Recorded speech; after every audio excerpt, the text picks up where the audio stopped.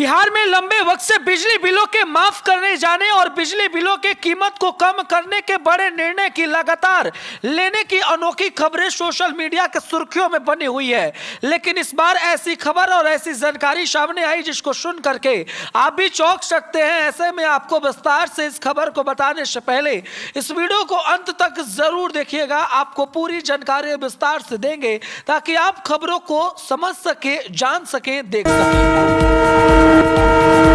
State bank of India ने electron bond पर जानकारी देते हुए बताया कि सभी जानकारियाँ वह मुहैया करा चुके हैं, बची कुछ सभी चीज़ें भी वह मुहैया करा देंगे। हाँ इसके साथ ही जीतन नमाजी, आम आदमी पार्टी और अनेकों तमाम बड़े नेताओं पर लगातार बीजेपी का सिकंजा कैसे कसा जा रहा है और इसके साथ जीतन नमाजी ने क्या कुछ नई खबर दिखाई है, बिहार से आपको ये भी बताएँगे। इसके साथ हेमंत सोरेन की जेल में एक एक रात कैसे कट रही है कैसे जेल में हेमंत सोरेन लगातार अपनी कहानियों को लिखते नज़र आ रहे हैं, ऐसे में इसको भी विस्तार से बताएँगे। लेकिन समझने की कोशिश ज़रूर कीजिएगा कि वीएम मशीनों को लेकर लोकसभा के चुनाव में इसे बैन करने की मांग किस राजनीतिक दल ने किया और क्या कुछ इसको लेकर के जानकारी दी गई है। पवन सिंह आरजेडी के टिकट से लोकसभा का चुनाव आरा से लड़ सकते हैं, ऐसी संभावनाएँ और संकेत बार बार दिए जा रहे हैं। और ऐसे में पवन सिंह को आरा से चुनाव लड़ाने की कोशिश भी की जा रही है। लेकिन सबसे बड़ी खबर तो यह है कि आरसीपी सिंह ने जिया और लगातार कई कोशिशें की है। इधर केसीआर ने पूर्व मुख्यमंत्री ने बताया कि किस तरीके से उनकी कहानियाँ दिन प्रतिदिन जनता के पास पहुँच रही है। आज एक बहुत बड़ा खबर अशोक गहलोत ने किया, कहा कि देश हित में कोई भी बड़ा फैसला लेने के लिए वो पीछे मुड़कर नहीं देखना चाहते, वो लगातार आगे कठोर बड़े निर्णय लेंगे। लेकिन सबसे बड़ी खबर तो यह है कि एक बार फिर से आज कहीं ना कहीं बीजेपी की वरिष्ठ और बड़े नेता एक नई मौजूदगी की बड़ी कहानियों को जन्म देते नज़र आ रहे हैं। इस पर भी आपको विस्तार से जानकारी देंगे। नीतीश कुमार और तेजस्वी यादव सबको फेल इधर जी हाँ योगी आदित्यनाथ ने 80 की 80 लोकसभा सीटों को जीतने का बड़ा निर्णय भी अपने नाम हासिल करने को लेकर के आगे निकल चुके हैं। सबसे बड़ी कहानी और खबर तो ये है कि देश में आज कहीं ना कहीं एक बहुत बड़ी खबर और जानकारी सामने आ रही है लगातार राशन कार्ड धारकों को लेकर के। तो इस पर भी आपको विस्तार से जानकारी देंगे।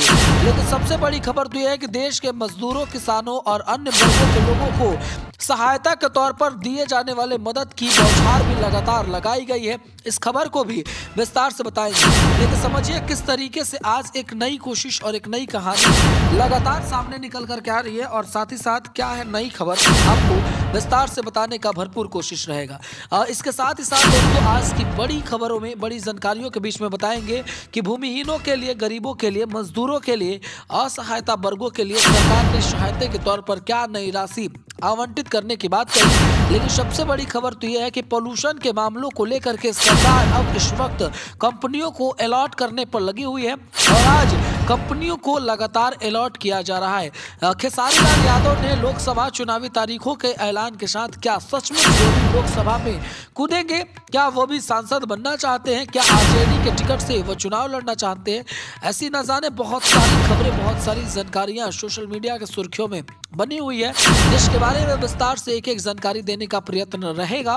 लेकिन सबसे बड़ी खबर तो ये है कि एक नई कोशिश इंडियन रेलवे को लेकर की जा रही है, भारतीय रेलवे को लेकर की जा रही है। इंडियन रेलवे ने अपडेट दिया और कहा कि सभी ट्रेनों को सही समय पर चलाने के लिए शेड्यूल सेट किया जा रहा है और ऐसे में कोशिश यही है कि सभी ट्रेनों को सही समय पर चलाया जा सके।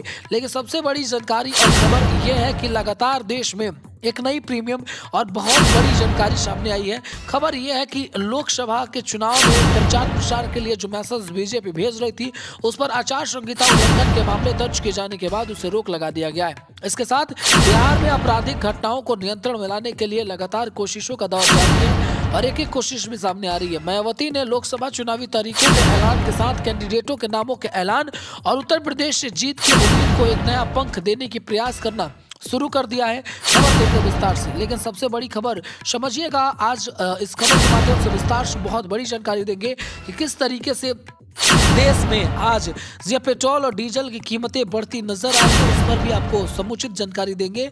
शक्ति यादव ने कहा कि वह लोकसभा के चुनाव में आरजेडी को लगातार मज़बूत बनाए रखने के लिए अपनी सभी कोशिशों को करते नज़र आएँगे। संघर्ष की कहानी।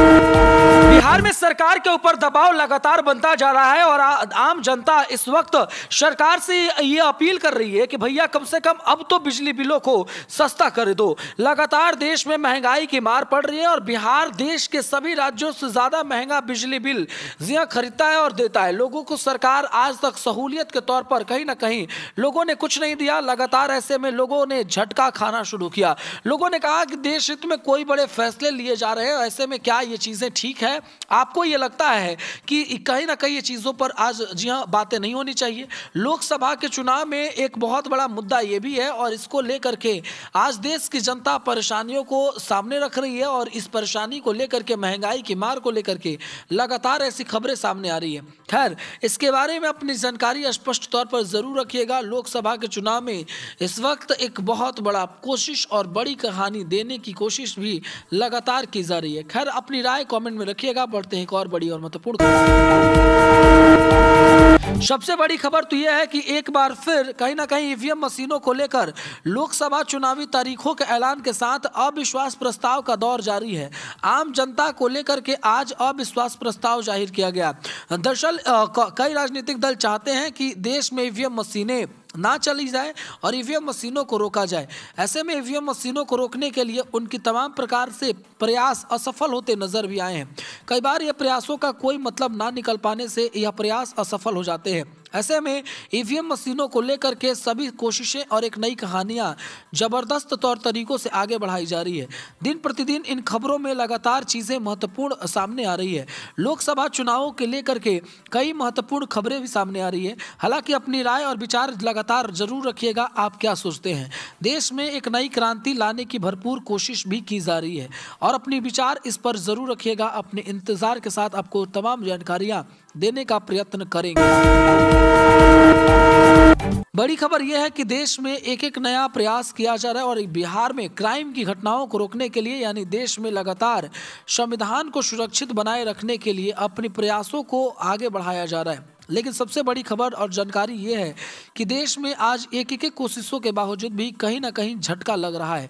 दरअसल बिहार में आज क्राइम स्तर का रिपोर्ट लगातार बढ़ रहा है। लोगों को काफ़ी दिक्कतें हो रही है, काफ़ी परेशानियाँ हो रही है, लेकिन उसके बावजूद भी क्राइम रोकने का नाम नहीं ले रहा है, लगातार क्राइम स्तर बढ़ता चला जा रहा है। ये बहुत बड़ी खबर है, ये बहुत बड़ी सबसे बड़ी खबर तो यह है कि बीएसपी यानी बहुजन समाजवादी पार्टी ने लोकसभा चुनावी तारीखों के ऐलान के साथ लगातार प्रयास करने शुरू कर दिए हैं। उनकी कोशिश ये है कि जीत की उम्मीद को एक नया पंख दिया जाए। हालाँकि इन सभी कोशिशों में एक एक नई जानकारियाँ और खबरें सामने आ रही है। मुख्य तौर पर मिली एक नई जानकारी के मुताबिक जीत की उम्मीद को एक नया पंख लगाया जा रहा है। कहीं ना कहीं बीएसपी इस बार चाहती है कि उसकी कैंडिडेटों की बड़ी पैमाने पर जीत कराई जा सके। और जीत के लिए हुंकार भी भरा जा रहा है बहुत बड़ी जानकारी और खबर यह है कि आज महँगाई के इस मार में लोगों को आज परेशान होते हुए देख रहे हैं आप भी। महँगाई ने आज कमर तोड़ रखी है। पेट्रोल और डीजल की कीमत पर आज एक नई उम्मीद जताई जा रही है। माना जा रहा है कि पेट्रोल और डीजल को लेकर के सस्ता करने की अपील की गई है। जनता लगातार पेट्रोल और डीजल पर कुछ बोलने के लिए जी हाँ सामने आ रही है, इस पर भी चुप कराया जा रहा है। जनता लगातार देश में बढ़ती महँगाई को एक बहुत बड़ा मुद्दा मानती है और चुनाव में इसी मुद्दे को लेकर के वो वोट को करने के लिए भी अपील करती नज़र आ रही है। हालाँकि अब इस वोट को कैसे किस तरीके से और कितना ज़्यादा राजनीतिक दलों की एक महत्वपूर्ण प्रयास के साथ रखा जाएगा, ये वक्त बताएगा। लेकिन दिन प्रतिदिन आज एक नई कोशिशें, डीजल और पेट्रोल की महँगाई बढ़ती नज़र आ रही है और ऐसे में दो रुपये कम करके सरकार वोट लेने की भरपूर कोशिश और राजनीतिक इसी पर करने की कोशिश भी करती नज़र आ रही है। अपनी राय कमेंट में ज़रूर रखिएगा, इंतज़ार करेंगे। सबसे बड़ी खबर और जानकारी ये है कि देश में आज एक नया प्रयास और खबर सामने आई। महँगाई के इस दौर में गरीबों और मजदूरों के लिए कोई राशि नहीं दी जा रही, वहीं किसानों के लिए भी आवंटित पैसों को रद्द कर दिया जा रहा है। पैसा जिससे किसका, जिस किसानों को मिलना चाहिए, उस किसानों तक पैसा नहीं पहुँच पा रहा है और ऐसे में मांग, किसानों की ये मांग है कि देश में किसानों के अधिकार को समझा जाए। देश के अंदर किसानों के अधिकार को ना समझते हुए देश के किसानों को मजबूर किया जा रहा है और ऐसे में देश के किसान अब जब तब मजबूर होंगे, तब तब चीज़ें जो है स्पष्ट तौर पर झटका लगने वाली होगी। इस बार भी ये किसानों के द्वारा लगातार एक बहुत बड़ा झटका लग रहा है। लोकसभा के चुनावों को लेकर के अलग अलग जानकारियाँ, खबरें महत्वपूर्ण तौर पर सामने आ रही है। हालाँकि अपनी जानकारी इस वीडियो में ज़रूर रखिएगा। आप क्या सोचते हैं, आप क्या जानते हैं? इस वीडियो को देखने के लिए आपका दिल से बहुत बहुत आभार व्यक्त करते हैं इस वीडियो को ज़्यादा से ज़्यादा शेयर करें जय हिंद, वंदे मातरम, भारत माता की।